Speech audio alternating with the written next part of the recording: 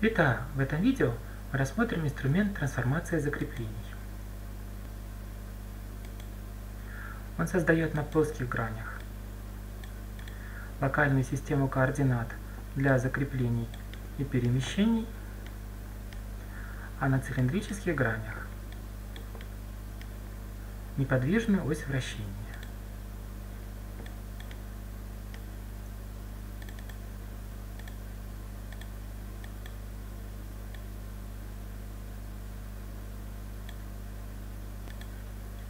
Итак, вот наша 3D-модель, похожая на рычажный механизм.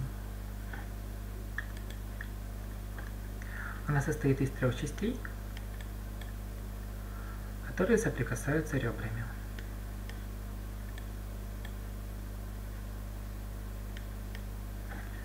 Объединим их болевым слиянием.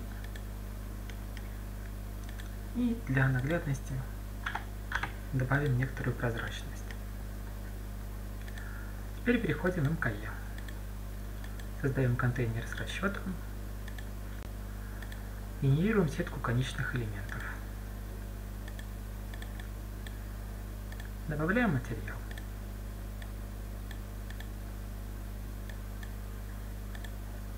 Добавляем собственный вес.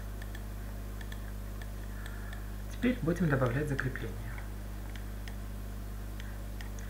Отверстию в кривошипе Независимо от его положения в пространстве, нужно добавить закрепление по x.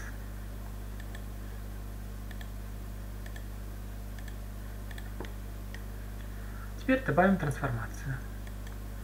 Выбираем цилиндрическая трансформация и добавляем внутреннюю поверхность отверстия.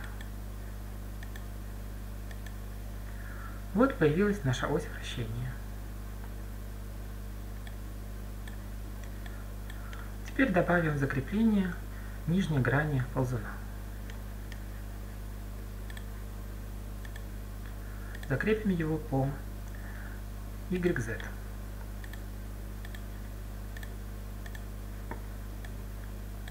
Теперь добавим трансформацию. Ортогональная трансформация. Вот появилась наша система координат локальная. Повернем ее на 45 градусов.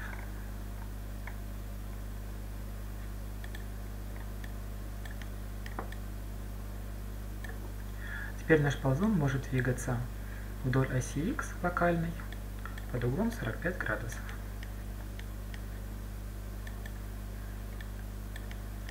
Теперь к концу ползуна назначим перемещение. Вдоль X 20 мм. Также добавим трансформацию.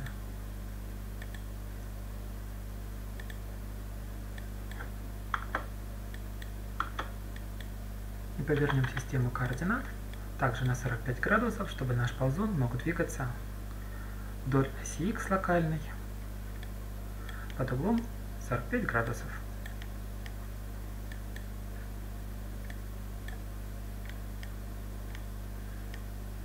Все готово к расчету.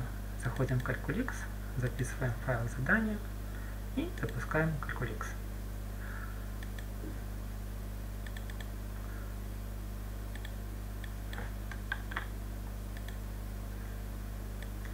Вот наши результаты.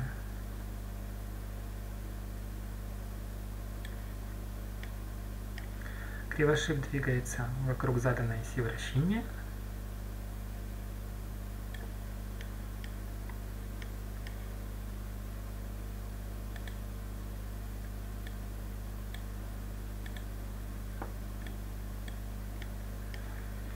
ползун сдвинулся на заданное расстояние вдоль заданной траектории.